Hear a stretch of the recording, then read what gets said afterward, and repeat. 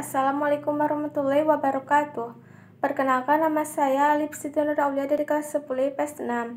Apakah kekuatan superstruktur politik yang tergolong ke dalam lembaga tinggi negara Indonesia? Jawaban saya adalah superstruktur politik Indonesia yaitu Undang-Undang Dasar Negara Republik Indonesia tahun 1945 sebagai Konstitusi Indonesia mengatur keberadaan lembaga-lembaga negara mulai tugas, fungsi, wewenang sampai pada susunan dan kedudukannya.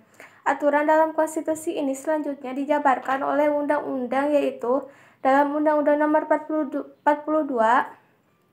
Tahun 2014 tentang MPR, DPR, DPD, dan DPRD. Undang-Undang Nomor 3 Tahun 2009 tentang Mahkamah Agung, Undang-Undang Nomor 4 Tahun 2014 tentang Mahkamah Konstitusi.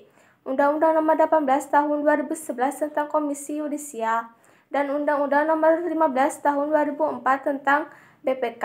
Kekuatan superstruktur politik yang tergolong ke dalam lembaga tinggi negara sebagai berikut.